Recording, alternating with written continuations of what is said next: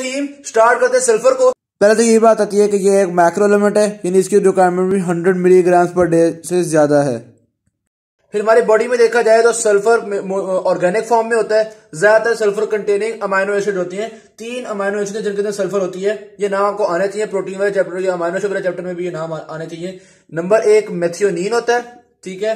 جو آپ کو پتا ہے ٹرانس میتھائلیشن میں بھی رول پلے کرتا ہے۔ میتھیونین ایک امپورٹنٹ امائنو ایسڈ ہے۔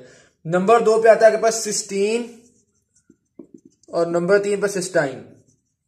ٹھیک ہے؟ اچھا جو سسٹین آپ کو پتا ہے ڈائی سلفائڈ بانڈز میں اپنا رول پلے کر رہا ہوتا ہے، تو یہ بھی مطلب یہ تینوں جو ہے نا، یہ امپورٹنٹ ہے، تو یہ آپ کو تھوڑے بہت پتا ہونا چاہیے کہ سلفر کنٹیننگ امائنو ایسڈ کون کون سی ہوتی ہے ٹھیک ہے؟ آتے ہیں ہم سلفر کے فنکشن کی طرف۔ پہلا فنکشن تو یہ ہے کہ امائنو ایسڈ کے اندر سلفر پایا جاتا ہے، ٹھیک ہے؟ پھر اسی طرح سے جب ہم کاربوہائیڈریٹس کا چیپٹر پڑھتے ہیں، تو آپ کو پتا ہے کاربوہائیڈریٹس میں سب سے امپورٹنٹ ٹاپک گیگز کا ہوتا ہے یعنی گلائکوسمینو گلائکینز اور گلائکوسمینو گلائکینز ٹوٹل چھ طرح کے ہم پڑھتے ہیں، جن میں سے پانچ گلائکوسمینو گلائکینز سلفر کنٹیننگ ہوتے ہیں۔ ٹھیک ہے؟ تو یہ بھی ایک فنکشن ہے۔ میں نے یہ مطلب آپ کو کاربوہائیڈریٹ ریلیٹ کر کے بتایا، ویسے اگر آپ نے فنکشن لکھنا تو آپ کہیں گے heparin chondroitin sulphate dermatan sulphate keratan sulphate ان سب کے اندر سلفر پایا جاتا ہے۔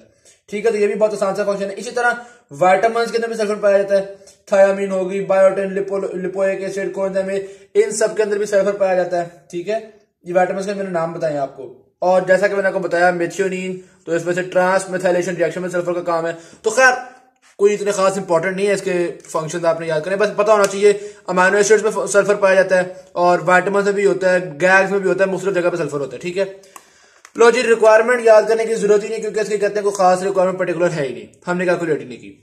سورسز بھی اتنے آسان ہے کیا مطلب جس ڈائٹ میں میتھیونین سسٹین زیادہ ہوگی، وہ اس کا سورس ہے۔ تو بہت آسان ہے۔ مطلب اس کو بھی کیا یاد کرنا یار۔ اور ایکسکریشن کی بات کریں تو یہ ہمارے پاس یورن کے اندر ایکسکریٹ ہوتا ہے زیادہ تر۔ لیور اس کو یوٹیلائز کرتا ہے یورن کے اندر ایکسکریٹ ہوتا ہے۔